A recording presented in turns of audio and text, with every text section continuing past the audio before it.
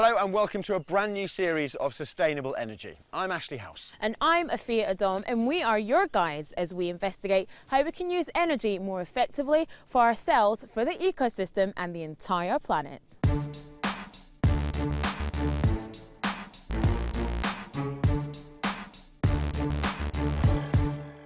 In this series, we'll look at the technology, the sustainability, the viability, and the long term future of the ways in which we source energy.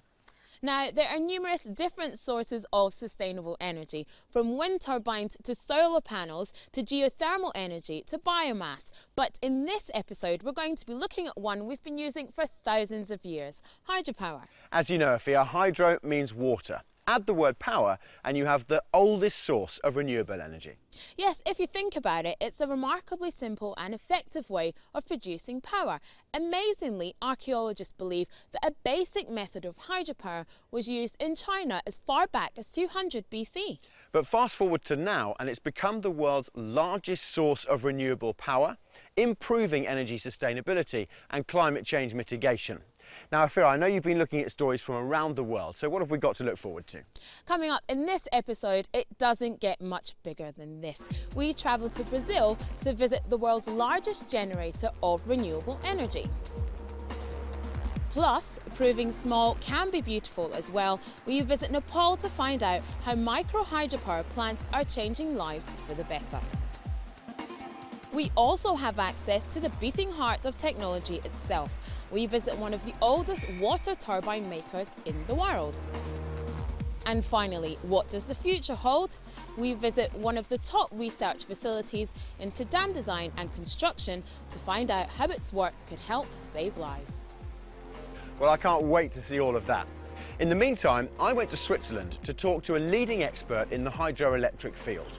But just how important is water to our daily energy needs? Well, hydropower supplies about 20% of the world's electricity, a share that's remained stable since the 1990s. In terms of renewable power, it provides 85% of global renewable electricity.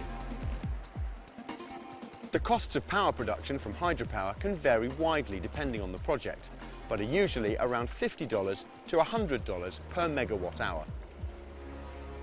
People often argue that sustainable energy is too small to be meaningful and cannot provide the power needed for big energy users and for industry. But hydropower can be a solid rebuttal to that argument.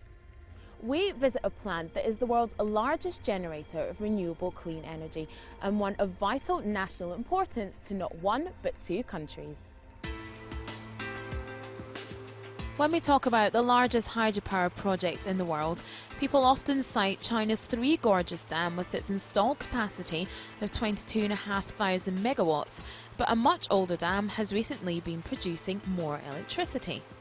In 2014, the Three Gorges Dam held the world record, producing 98.8 million megawatt hours, but at the end of 2016, this dam produced 103 million 98,366 megawatt hours and established a new world record in annual generation.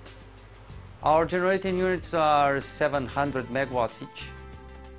We have 20 generating units Uh, installed, which comprise a total of 14,000 megawatts. This monster dam is the Itaipu Dam on the river Parana, bordering Brazil and Paraguay. Itaipu, or the Singing Boulder, as it's known in the local Tupi language, was started back in 1975. A binational project between the Brazilian and Paraguayan governments, it involved altering the course of the mighty Parana River to allow the dam to be built. The project was huge, with record amounts of concrete being used. On one single day, November the 14th, 1978, the site receives 7,207 cubic metres of concrete, a South American record, and the equivalent of a 10 story building every hour. Nothing on this project is small. The main concrete dam houses 20 turbines, and the ducts that feed the turbines are 10 metres across and carry up to 700,000 litres of flow water per second. We have a project number of generating production of 75 terawatt hour per year, but this number is surpassed year after year. Uh, the last year we produced 103 terawatt hour. The dam's importance to two countries means that it can never be switched off, a real challenge when trying to maintain such a vital asset. Only two of the 20 generating units can be switched off at any given time. We are only able to produce energy when we have three main aspects fully established. The first one is the safety of the people, the safety of our professionals. The second one is the safety of our, our assets. And the third one is the safety of the environment, the surroundings environment. The Itaipu Dam was first proposed back in the 1970s at the height of the oil crisis. 44 years later, it's the world's largest generator of renewable clean energy and was selected by the American Society of Civil Engineers as one of the seven wonders of the modern world, proving that sustainable energy can be big and reliable.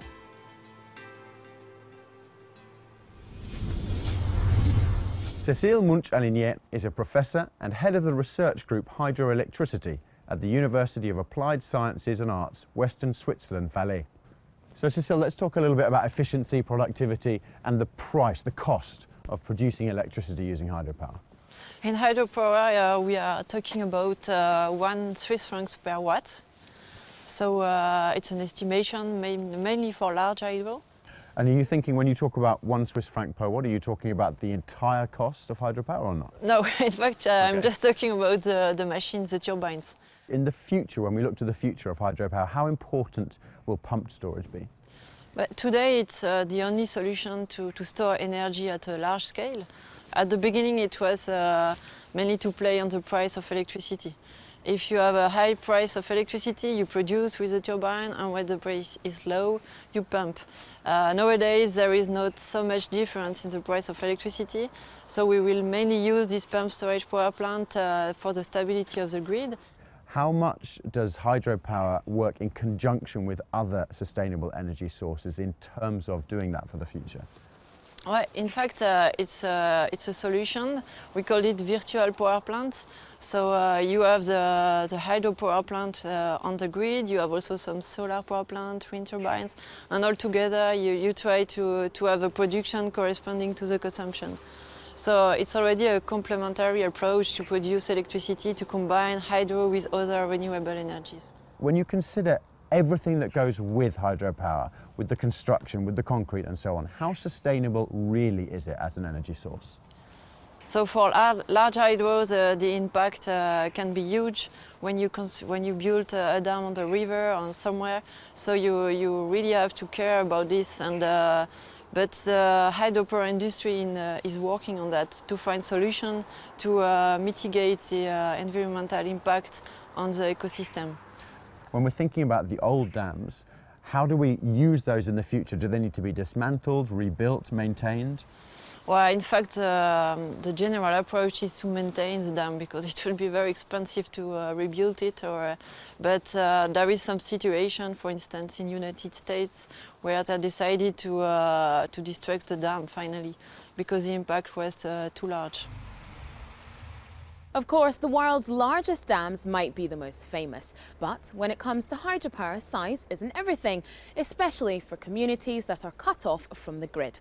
We took a trip to the top of the world, literally, to find out how an NGO is helping communities better themselves by the power of, yep, you guessed it, water.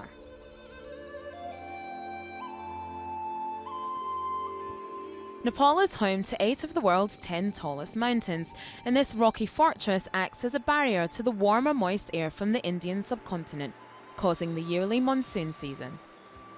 This massive deluge of water can cause misery with landslides and flooding, but when managed properly, it can also bring massive benefits. Nepal doesn't have the financial resources or a suitable topology to build large dams. Add to that, earthquakes here are commonplace, and they threaten to destroy or damage large-scale infrastructure projects. So an alternative has emerged, small-scale hydroelectric power plants. People in Baglung, situated around 275 kilometres west of the capital Kathmandu, have for a long time struggled to find reliable sources of energy. That changed though when the NGO Practical Action helped fund, distribute and install small hydropower turbines. The result? Communities that would traditionally have had to use polluting generators are now able to access clean electricity. Nepal is dominantly energy poverty country. Uh, we have been struggling with uh, having adequate electricity at home, as you can see. But with some management change and with some additional hydropower construction, uh, the situation has changed, it, ha it has improved. The abundance of water here means the potential to produce clean energy has always existed, but communities weren't able to develop hydropower without the technological know-how and support. We are making sure that the micro hydro projects are running as per their full potential. So we are trying to make sure that it has got adequate uh, productive and social end use, which means during the daytime we can introduce some micro enterprises works. With that, uh, they can enter into different kind of businesses which can generate employment and that will strengthen their livelihood. Practical Action is working with both international and local partners. यो सबभन्दा त हामी जल स्रोतको व्यवस्था राम्रो भएको हुनाले अब जलबाट नै विद्युत निस्किने भएको हुनाले यो हामीले सुरुवात गर्न खोजेको थियौँ पहिलेदेखि नै र अहिले दुई हजार चौसठीदेखि हामी यो गाउँलाई उज्यालो र बत्ती बाल्ने र उद्योग व्यवसाय गर्नलाई सुरुवात गरेका हौँ As a result of this new technology, communities are thriving, and crucially, many of the beneficiaries are women and the next generation. अनि हामीहरूले यो उद्योग चाहिँ एकात्तर सालदेखि सुरु गरे एकात्तर सालदेखि सुरु गरेपछि हामीहरूलाई सत्रजनाको ग्रुप थियो समूह थियो सत्रजनाको समूहमा दुईजना बहिनीहरूलाई प्र्याक्टिकल एक्सनबाट तिन महिनाको सिलाइ कतै तालिम लिएर अहिले चाहिँ यही समूहबाट उहाँहरूले आफ्नो जीवन निर्वाह गर्ने पैसा चाहिँ नानी बाबुहरूलाई कापी कलम किन्ने पैसा कमाउने चाहिँ उहाँहरूको सजिलो भइरहेछ अनि एकजना बहिनीले कम्प्युटर पनि पढ्न पाइयो बहिनीले कम्प्युटर पढेर उसले पनि अहिले उनको जीवनमा अलि सजिलो भइराखेछ Small systems can make big changes. And that's why Practical Action is hoping to install similar micro hydropower projects around the world. Professor, thank you very much for having us here. This is obviously your lab. Tell us a bit about what goes on here. So here uh, we are teaching hydraulic machines to the students and we are also doing uh, research, mainly focusing on small hydro. Okay, so we've got obviously research here. I can see lots of experiments going on looking into the future of hydropower, but tell us a little bit about the history so the history of hydropower start, uh, started a long time ago with uh, the wooden mills uh, in ancient Greece with very uh, small machines. In fact, it was 100 watts. And uh, then we have a, a, a, huge gap during the 70s with the development of uh, hydrodynamics and turbo machinery principles. And the first turbine, which is called the Fourneyron turbine, with 5 kilowatts and already a very nice efficiency of almost 80 percent. Now, talking of innovation, as I said, we've got lots going on here, but tell us a little bit about, there are three types of hydropower, is that right? Yeah, so you have a storage scheme, so you have a reservoir in altitude and then uh, the power plant in the valley, and you can produce when you want. Uh, you have run-of-the-river uh, installation, so uh, as the name uh, is clear, it's yeah. on the river, and so the production is really depending on the discharge. And we have also storage, uh, pump storage system when you can store energy, you can uh, turbine during the day, pump during the night. What are the advantages and disadvantages of using hydropower as a sustainable energy source? But as you say, the hydropower is a renewable, sustainable source of energy, so it's really nice compared to other ways to produce electricity. And uh, that's why there is so many installations in the world. And uh, if I have to say about the negative, of course, we are already uh, speaking about the environmental impact. So it's an important, important question for hydropower, and we are really, uh, we really care about it. We are doing research about it just to improve it. And we're going to be hearing more about that renewable energy source throughout the show, of course. But first of all, if you think you know about hydropower, here's one common misconception. You thought you knew? Think again. Myth. Hydro generators will damage the local ecosystem. The truth? Careful design is required to ensure that hydro systems have minimal impact on the local ecology. This can mean a small amount of energy efficiency compromise, but minimises the effect on the local environment and, in particular, fish stocks.